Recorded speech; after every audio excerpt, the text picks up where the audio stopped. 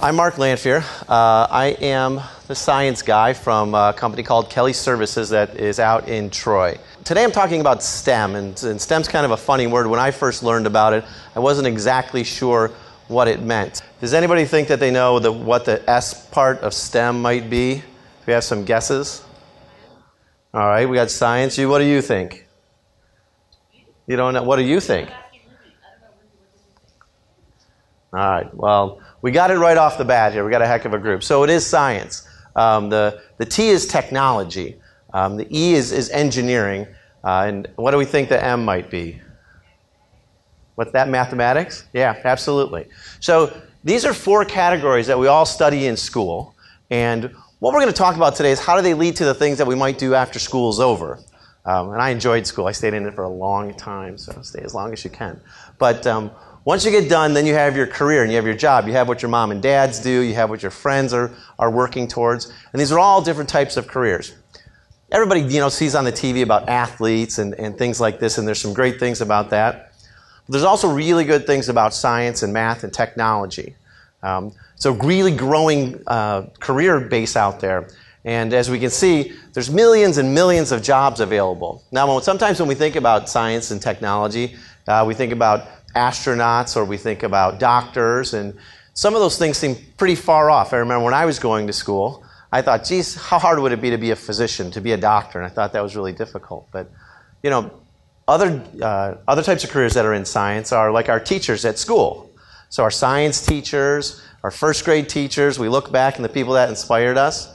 Um, myself, I went into science and got science degrees and, and got a degree uh, in biology. And what I get to do now isn't sit in a lab and do biological things, but I get to write because that was always a passion of mine. So I took um, part of what I like to do. I, I always wanted to write poetry and, and things like this, right? And so, but took the science foundation and then turned that into a career where I get to write about science, I get to talk about science, and I get to come out and, and uh, meet folks like you guys. So if you think about whether I'd ever want to be a scientist or not, some of the things you can think about are the general things out there.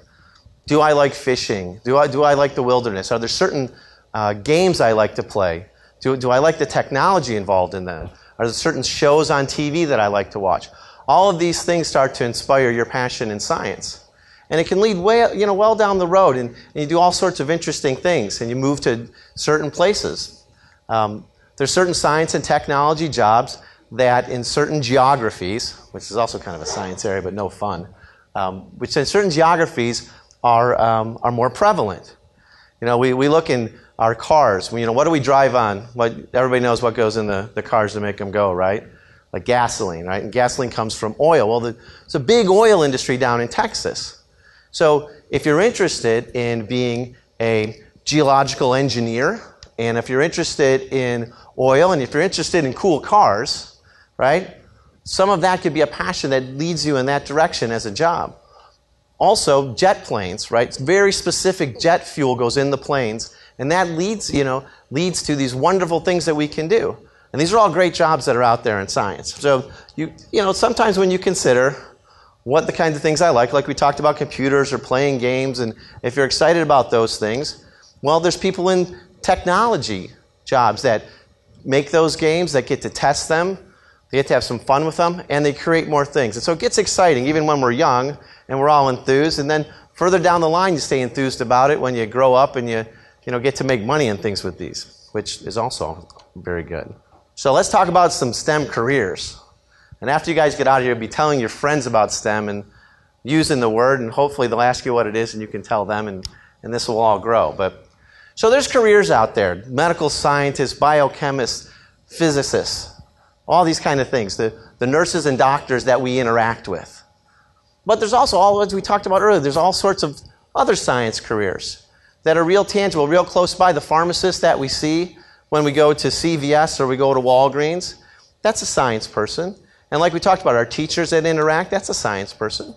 And one of the reasons why this is so important is that here in the U.S., there's a great demand for us to work in science and technology and math the kind of jobs that are growing here, the kind of jobs that give a real nice wage in the places that you want to live, a lot of them are associated around having a foundation in science. And again, you can have a foundation, and then you can still find the things that you want to do, still find the passions out there. There's a lot of athletes, and there's a lot of actors, and there's a lot of musicians that if you go back and you look at their background, they went to good schools, they went to college, and they got interesting degrees in science. When you look at music, a lot of these guys had um, nice degrees in technology. They used their soundboard to change their music, and they've invented new things. So there's some technology jobs out there, and boy, there's some big numbers when it, you start to look at the salaries that come along. Um, software developers making $100,000 a year. Um, if, if that's the kind of thing that excites you in technology, and if it excites you to make a, a nice living and be able to live maybe on the West Coast, we hear a lot about Apple. We all have our Apple phones and our iPods, and they make the music for us. Well, guys like Steve Jobs created that and went to school and they're big technology guys and made all these cool things that we like. And now, as you start to go into school, what kind of applications, what kind of um, apps for your phone, they start to ask you those questions on your, on your resume, on your uh, application to school. So if you're interested in those kind of things and you can do them, you have a special skill or a special passion for them, it can lead to some of these really great degrees and, and really great jobs out there.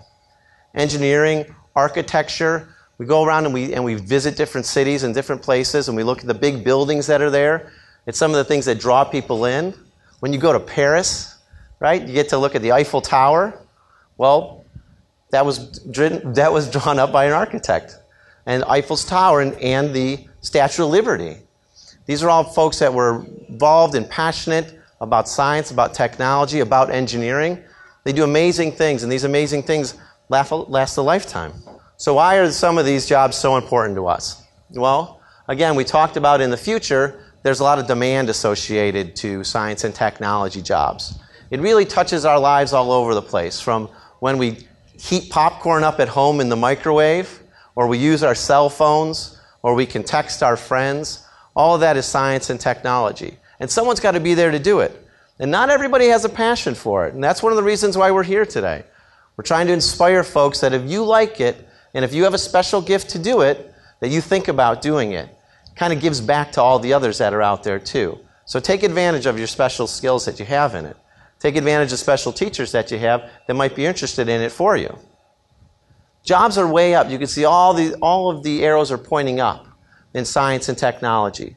So again, you assure your future if that's what you're looking to do. You can still do all the things that you're passionate about. I, I really believe that. We, we see it, you know, in, in so many different folks. I, I, um, I went to the University of Michigan, and so I use an example of a, of a favorite player of mine named Denard Robinson, who was a quarterback at the University of Michigan. Uh, but Denard also got his degree in communications. And it worked out for Denard that he got drafted in the NFL and he's going to play a little bit.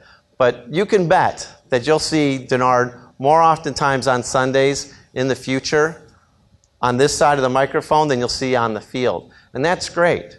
And that's a great technology degree for him to have. All right, so the 10 fastest growing jobs out here. So again, we talked about some of them. Software development is out there. Um, computer specialists is out there. Civil engineers, as we see cities that are coming back, a city like Detroit, where we're rebuilding the infrastructure and we're reinvesting in the city. In the long run, you could be a part of that if you're interested in engineering and things of that sort. I really, I'm, uh, I'm especially uh, kin to the, the medical field. Uh, I came up through it and, and did a lot of drug development and working with the pharmaceutical companies. And I worked in the hospitals with a lot of patients. And I think if that's a place that you think that you have some interest, it's a really good place to give back. Every single day you feel really good about what you do. And there's a lot of good careers, you know, from different types of nurses to different types of doctors to surgeons. Even you can get your degree and then you can go into administration and help run some of the hospital businesses. I think that's a very exciting one for, for the future.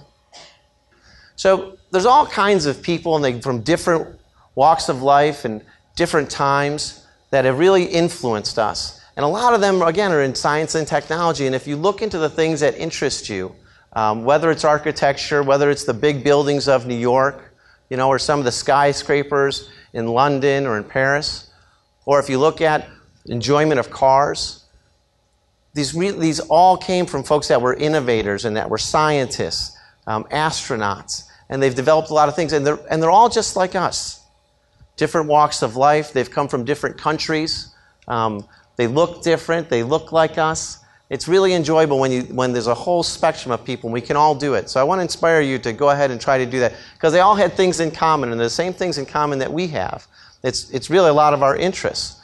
These guys were all innovators, you know, and they reached out and they were inventors and they got involved and they pursued their careers and their interests in science and they got inspired with it. And they thought, what can I do next?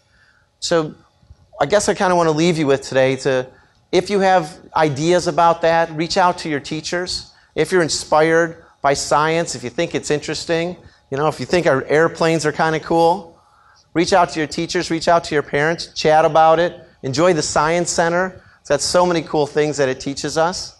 And hopefully, one of these days, maybe one of you guys can be standing up here talking to a group of students and helping them try to find their way in science next.